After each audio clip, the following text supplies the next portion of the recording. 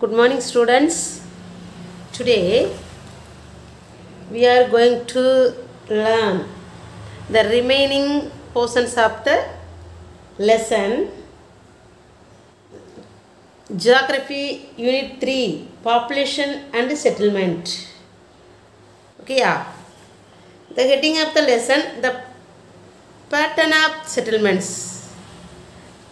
What is that pattern of settlement? kudiyirpu குடியிருப்பின் அமைப்புகள் there are two types settlements also be classified into compact settlements and dispersed settlement compact settle compact settlement means குழுமிய குடியிருப்பு disperse செட்டில்மெண்ட்னா சிதறிய குடியிருப்புகள் ஓகேயா இப்போ first one compact settlement what is compact settlements compact settlements is also known as nucleated settlements அதாவது குழுமிய குடியிருப்புகள். ஓகேயா in this type large number of houses are built very close to each other. Such settlements develop along the river valleys and fertile plains in india compact settlements are found in the northern plains and the coastal plains of peninsular India அதாவது இந்த குழுமிய குடியிருப்பு மைய குடியிருப்பு அப்படின்னு சொல்கிறாங்க இந்த வீடுகள் வந்து ஒன்றுக்கொன்று அருகே ம், அருகருகே பக்கத்தில் பக்கத்தில் அமைந்திருக்கும். அதுபோக ஆற்று பள்ளத்தாக்கின் ஓரங்களிலும் வளமான சமவெளி பகுதிகளிலும் பக்கத்தில் பக்கத்தில் அமைந்திருக்கும் இந்த கு- குழுமிய குடியிருப்பு. யா கம்பேக்ட் செட்டில்மெண்ட் அப்படிங்கிறாங்க. நெக்ஸ்ட் வந்து டிஸ்பர்ஸ் செட்டில்மெண்ட் அதாவது சிதறிய குடியிருப்புகள். What is dispersed settlements? Dispersed settlements are generally found in the areas of extreme climate hilly tract thick forest grassland areas of extensive cultivations. அதாவது இந்த சிதறிய குடியிருப்புகளை பொதுவாக அதிக வெப்ப பகுதிகளிலும் மலை பாதைகளிலும் காட்டு பகுதிகளிலும் அடர்ந்த காட்டுப்பகுதியிலையும் புல்வெளி பகுதிகளையும் அதிகமாக சாகுபடி செய்கிற பிரதேசங்கள்லையும் காண முடியும் அப்படின்னு சொல்கிறாங்க ஓகேயா in the settlements houses are space far apart and after intense in intense first with field in India this types of human settlements is found in the the அதாவது எங்கெங்கெல்லாம் இருக்குது? இந்த செட்டில்மெண்ட்டு இந்த இது வந்து வீடுகளுமே எப்படி இருக்குமா? இடைவெளி விட்டு விட்டு இடைவெளி விட்டு விட்டு காணப்படுது. வயல்வெளிகளோடு இந்த குடிமக்கள் குடி மக்கள் வந்து கலந்திருக்கும் கலந்திருப்பாங்களாம். இந்தியாவில் வந்து இது எங்கே இருக்குன்னா இந்த குடியிருப்பு பகுதி வந்து கோ கா அது கோசி மலைப்பகுதி காசி மலைப்பகுதியிலையும் வடக்கு பகுதியிலும் அந்த காசி மலைப்பகுதியிலும் வடக்கு பகுதியிலும் கங்கை சமவெளியிலும் இமயமலை மற்றும் நீலகிரி அந்த சைடுகள்லையும் இது காணப்படுது அப்படின்னு சொல்கிறாங்க இந்த இருக்க In India, this types of, this type of human settlements is found in the northern Kosi tracts, the Kanga Delta, the Thar desert, desert of Rajasthan, and the foothills of Himalaya, Hima- Himalayas, Himalayas and the Nilgiris. Okay, next வந்து rural settlements.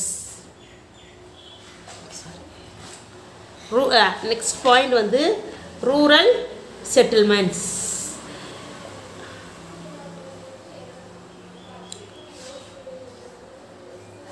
What is the uh, rural settlements?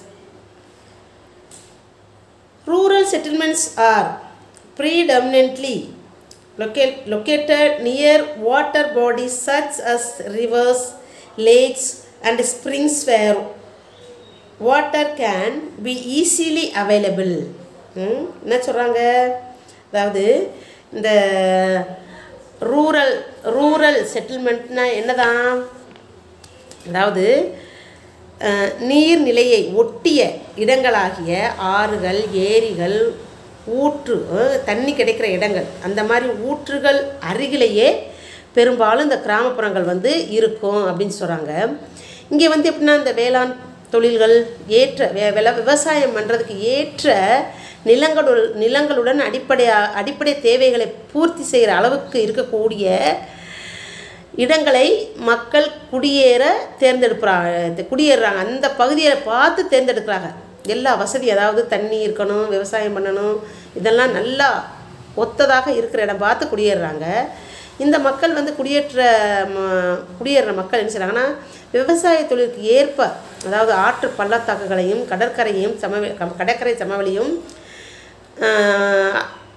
அந்த அதாவது கட்டி அது மட்டும் இல்லை அங்கே கட்டிட பொருள்களுக்கு பொருள்கள் வந்து மரம் கல் களிமண் போன்றெல்லாம் எளிதில் ரொம்ப ஈஸியாக கிடைக்கிற இடம் பார்த்து இந்த மக்கள் வந்து குடி அமர்றாங்க அப்படின்னு சொல்கிறாங்க ஓகேயா ரொம்ப எளிமையாக ஈஸியாக கிடைக்கக்கூடிய இடங்களில் அமர்றாங்கன்னு சொல்கிறாங்க people choose the settlement settle near fertile land suitable for agriculture along with the provisions of other basic needs hence they prefer to live near low lying river valleys and coastal plains suited for cultivations the availability கிடைக்க அதிக ஈஸியாக கிடைக்கக்கூடிய the availability of buildings materials like wood stone and clay near settlement is another advantage for settlement to be, to be built அப்படின்னு சொல்கிறாங்க அடுத்த point என்னன்னா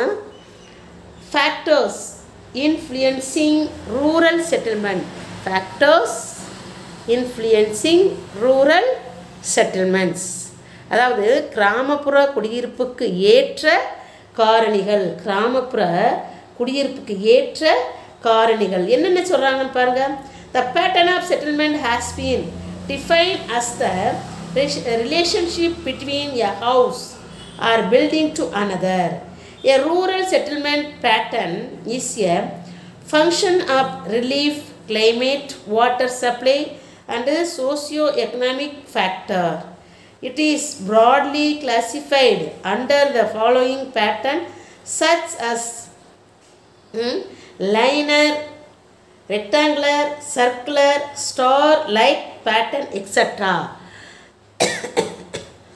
இதை சொல்கிறாங்க அதுக்கு மேலே வந்து அதாவது இந்த ஃபேக்டர்ஸ் என்னென்னா ஃபோ இந்த nature of topography local weather conditions soil and water resources factors influence influencing rural settlement இந்த அதோட ஹெட்டிங்ஸ் அப்போ நேச்சர் ஆஃப் டொபாக்ரஃபினா என்னவா? அதாவது இயற்கையான நிலத்தோற்றம். இயற்கையான நிலத்தோற்றம். லோக்கல் வெதர் கண்டிஷன்னா அதை உள்ளூர் தட்ப வெப்பநிலை உள்ளூர் தட்பவெப்பநிலை சாயில் அண்ட் வாட்டர் ரிசோர்சஸ் மண் வளம் மற்றும் நீர் வளங்கள் ஒத்- இருக்கணும். நெக்ஸ்ட் வந்து சோசியல் ஆர்கனைசேஷன் அதாவது சமூக நிறுவனங்கள். நெக்ஸ்ட் எக்கனாமிக்ஸ் கண்டிஷன்ஸ் பொருளாதார நிலை. இதையெல்லாம் ஒத்து அங்கே அமையணும். இப்போ pattern rural settlement rural செட்டில்மெண்ட்னா the pattern of settlements has been define அது ஆல்ரெடி ஐ டோல்டு என்ன சொல்கிறாங்க கிராமப்புற மக்கள் கிராமப்புறத்தில் இருக்கக்கூடிய மக்கள் வந்து என்ப எப்படின்னா அந்த வீடுகள்லாம் கட்டடங்களுக்கு இடையேயான தொடர்பை குறிப்பதாகும். அதாவது கிராமப்புற குடியிருப்பின் அமைப்பில் அமைப்புகள் என்பது வீடுகள் மற்றும் கட்டடங்களுக்கு இடையேயான தொடர்பை குறிப்பதாகும் சொல்கிறாங்க கிராமப்புற மக்கள் வந்து எப்படின்னா குடி குடியிருப்பு எப்படின்னா அந்த நிலத்தோற்றத்தையும் தட்பவெப்பம் நீர்நிலைகள் சமூக பொருளாதார காரணிகளை செயல்பாடுகளையும் பொறுத்து அமையுது அப்படிங்கிறாங்க.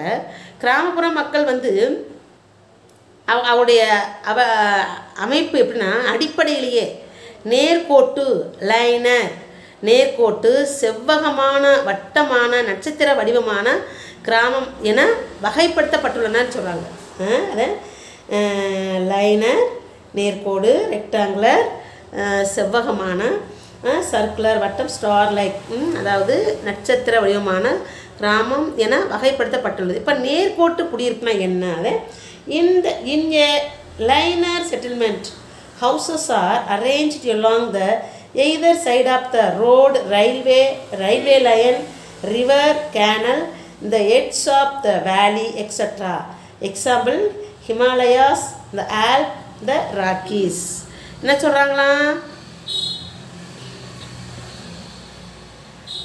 அதாவது இந்த நேர்கோடு குடியிருப்பு அப்படிங்கிறது வந்து சாலைகள் இருப்பு பாதைகள் ஆறு கால்வாய்கள் இது எல்லாம் என்ன இருக்குன்னா இங்கே பள்ளத்தாக்குகள் சரிவு ஆகிய பகுதிகளில் இந்த வீடுகள் வந்து இருக்குது.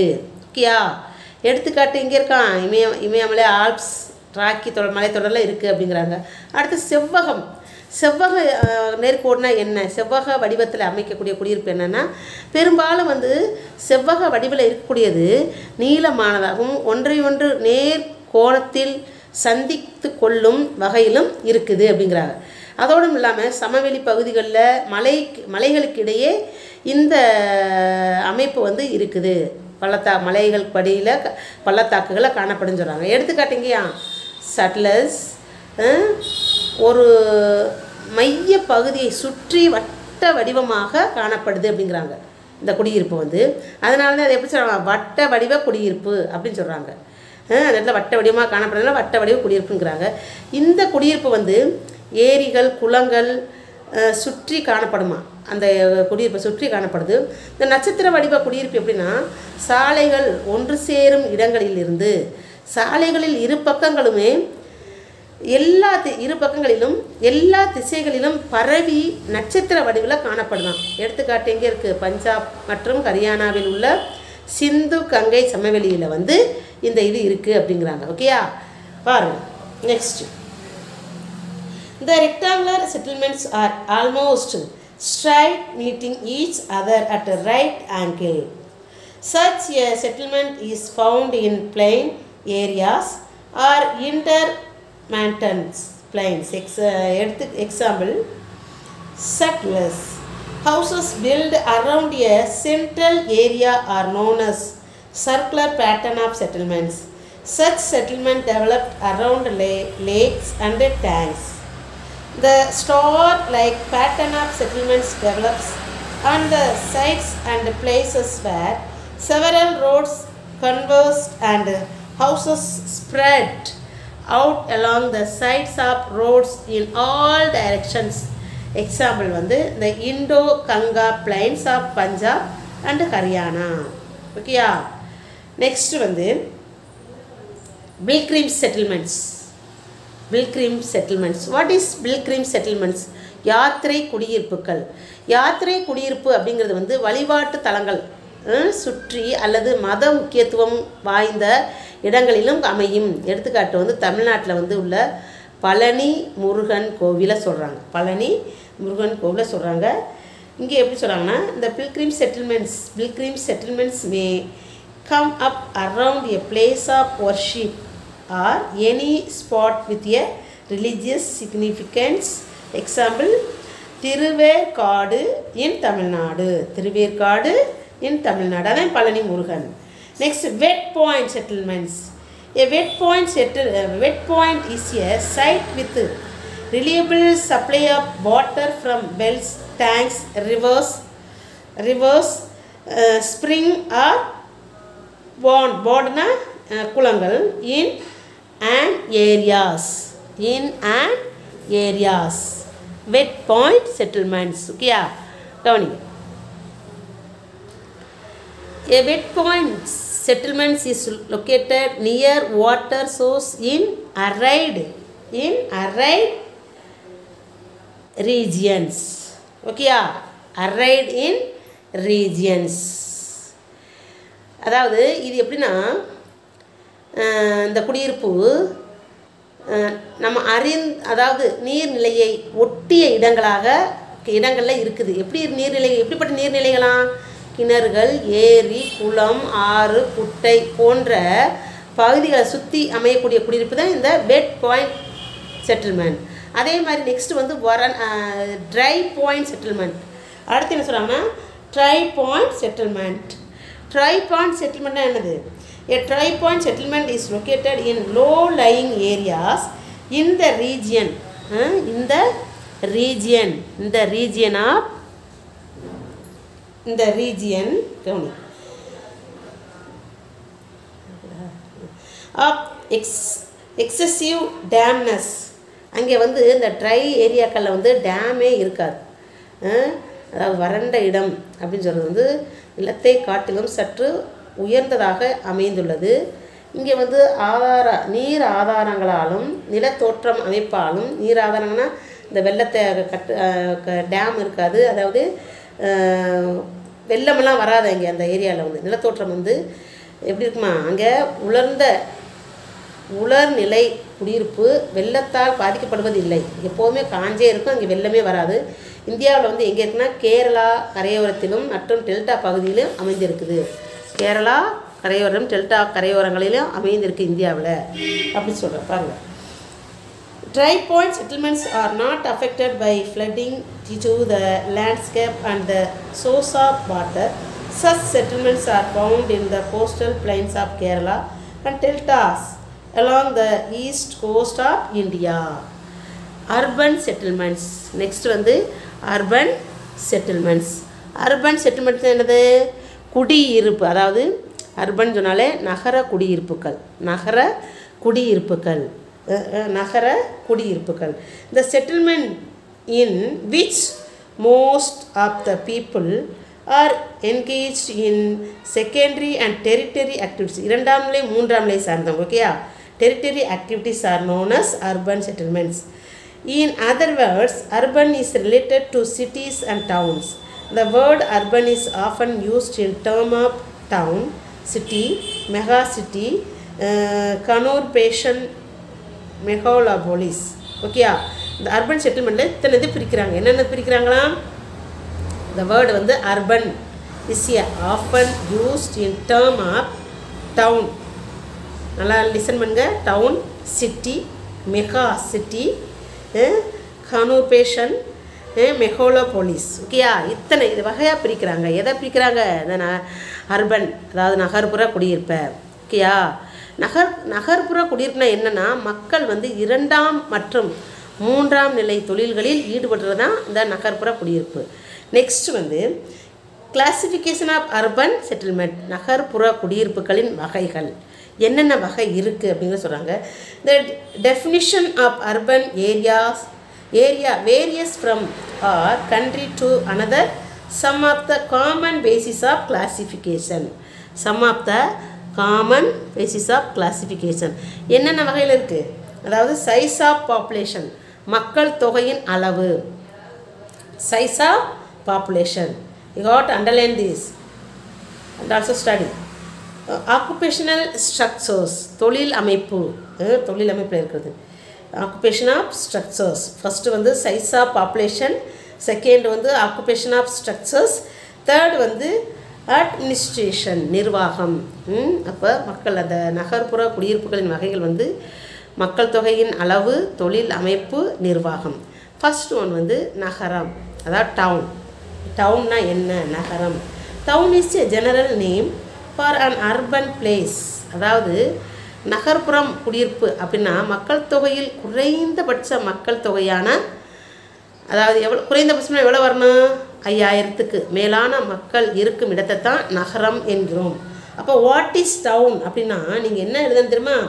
Town is a general name for an urban place usually a settlement meeting a prescribed minimum population threshold population more then five five thousand people based on the function that cities perform they can be classified into the following types of towns such as administrative cantonment academic etc ஓகேயா ஆ இப்போ மாநகர் city டவுனுக்கு அடுத்து என்ன வருது city சிட்டினா என்ன the term city is generally apply to large urban places with no strict definitions to separate up from smaller town smaller town city is a, a neglected settlement which multifunctional in character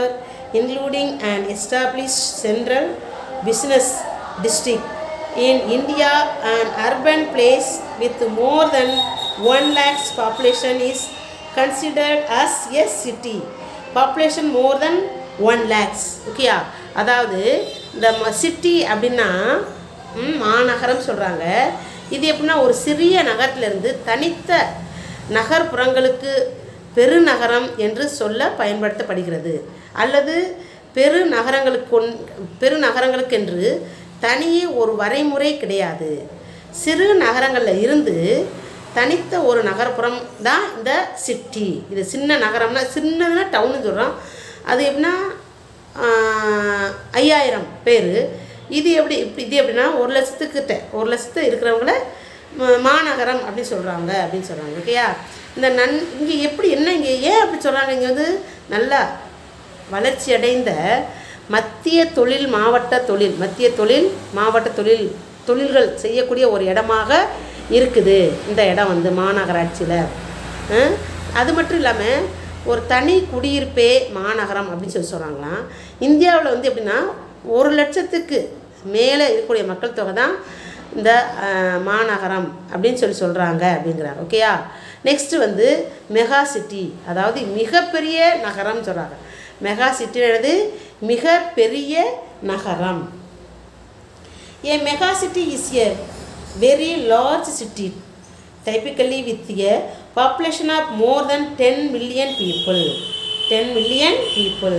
A mega city can be a single metropolitan areas, example, uh, Canton, Tokyo, Delhi, Mumbai are some of the example of mega city. என்ன சொல்கிறாங்கன்னா mega சிட்டியில் வந்து பத்து மில்லியனுக்கு மேலே மக்கள் தொகை கொண்ட இதை ம், பெரிய நகரம் ம், மிகப்பெரிய நகரம் சொல்கிறாங்க இங்கே எப்படின்னா தனித்த தலைநகரமாக செயல்படும். இந்த இது வந்து தனித்த த தலைநகரமாக செயல்படும். இது எந்தெந்த ஏரியாவில் இருக்குன்னா கேண்டான் டோக்கியோ டெல்லி மும்பை போன்ற பகுதிகளில் இந்த மிகப்பெரிய நகரம் மெகா சிட்டி அப்படின்னு சொல்லி சொல்கிறாங்களாம் நெக்ஸ்ட்டு வந்து அதாவது வேர்ல்டு வேர்ல்டு ஹெல்த்தி ஆர்கனைசேஷன்.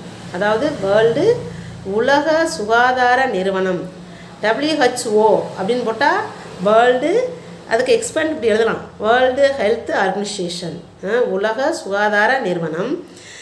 இந்த உலக சுகாதார நிறுவனம் suggest that among other things a healthy city must have அதாவது உலக சுகாதார நிறுவனத்தின் கூற்றுப்படி ஒரு ஆரோக்கியமான நகரத்திற்கு அகர் நகரத்திற்கு அவசியமாக இருக்க வேண்டியது என்னென்ன அப்படின்னு சொல்கிறாங்க பாருங்களேன். என்னென்ன இருக்கணுமா?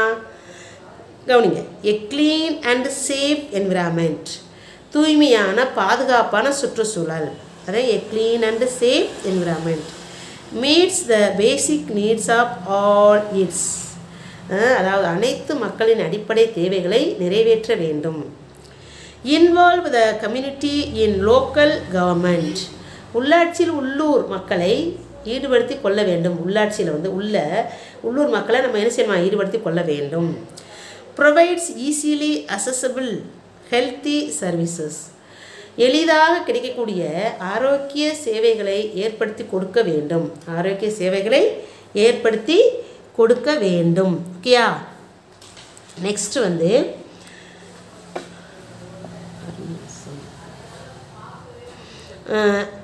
megalopolis Megalopolis.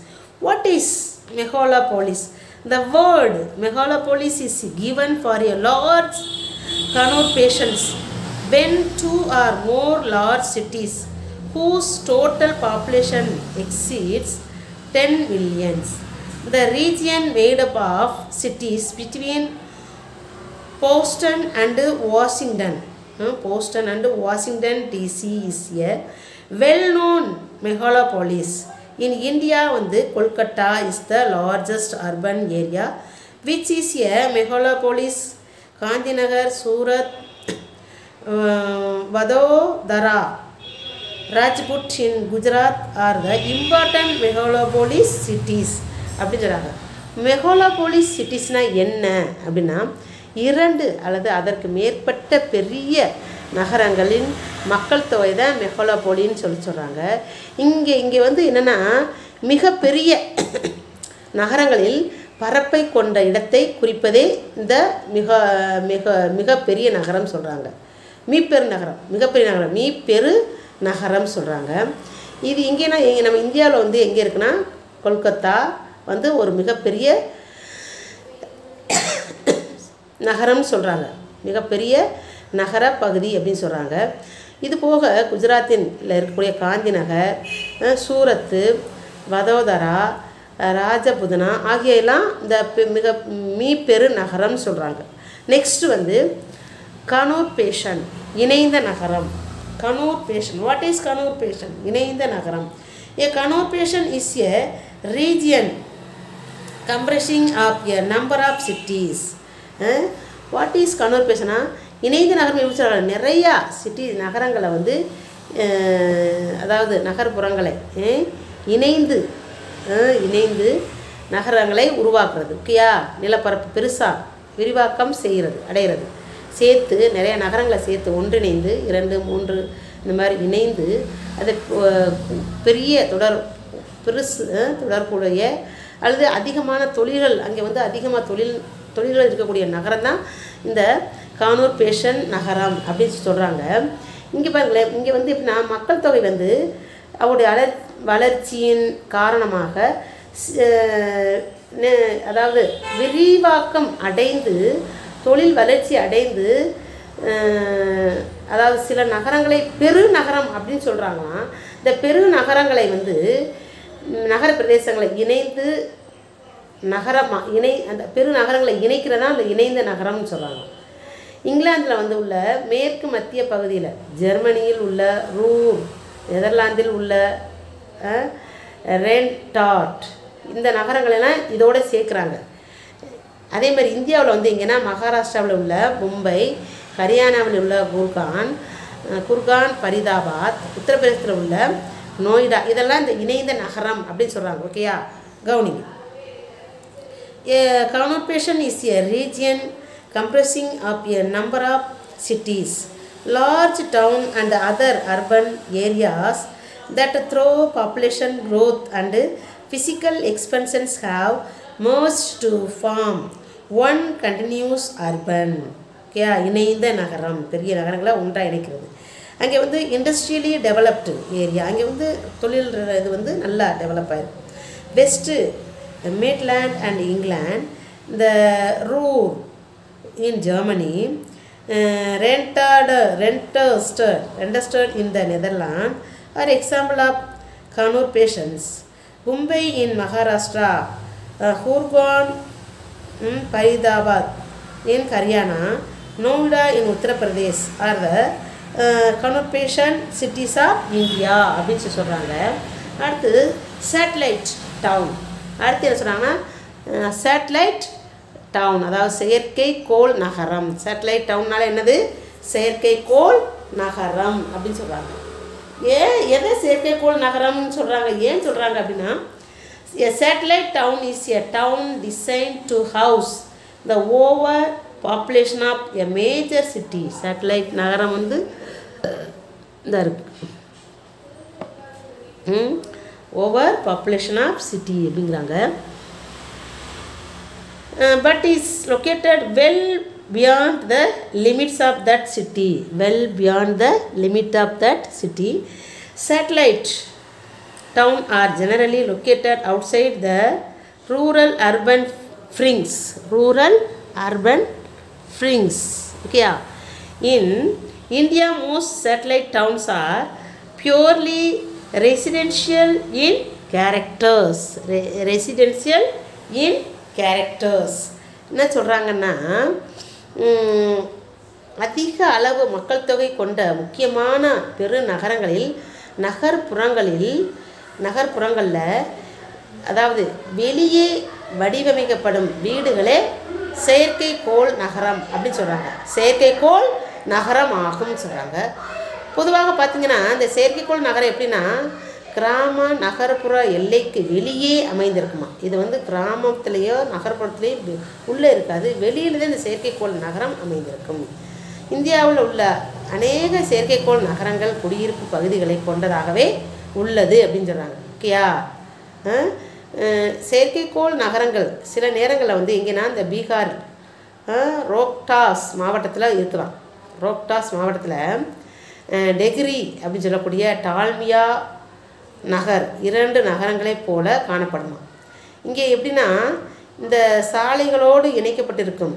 அது எப்படின்னா பாட்னா பரௌனி வாரணா இது நான் எக்ஸ்ட்ரா சொல்கிறேன்ப்பா ஓகேயா பரௌனி மற்றும் ஹஜிப்பூர் அப்படின்னு சொல்லக்கூடிய இடங்களில் வந்து இந்த இது இருக்குது அப்படின்னு சொல்கிறாங்க ஓகேயா நெக்ஸ்ட் வந்து ஸ்மார்ட் சிட்டி நம்ம மதுரையில் ஸ்மார்ட் சிட்டி அமைச்சுக்கிட்டு இருக்காங்க. டு யூ நோ தட் சிறப்பு பொருளாதார நகரம். சிறப்பு பொருளாதார நகரம் சொல்கிறாங்க ஸ்மார்ட் சிட்டி கவனிங்க in, in, in an urban region, a city which is very much advanced in term of infrastructures, real estate, communications and market availability is called a smart city. What is smart city? அப்படின்னா you have to note it, underline பண்ணிக்கிறது in an urban region, a city which is a very much advanced in term of infrastructure, real estate, communications and market availability is called a smart city. ஓகேயா என்ன சொல்கிறாங்க நகரப்புறம் நகர்ப்புற பகுதியில் உள்ள கட்டமைப்பு உள்கட்டமைப்பு வசதி வீட்டுமனை விற்பனை தொலைத்தொடர்பு எளிதாக கிடைக்கக்கூடிய சந்தை உள்ள இடங்களை சிறப்பு பொருளாதார நகரம்னு சொல்கிறாங்க அதே smart city smart city next the first ten smart cities of India are எதை தான் ஃபஸ்ட்டில் இருக்கக்கூடிய டென் வந்து என்னது? Bhubaneswar Pune Jaipur Surat Ludhiana Ludhiana? Kochi Ahmedabad Solapur New Delhi and Udaipur.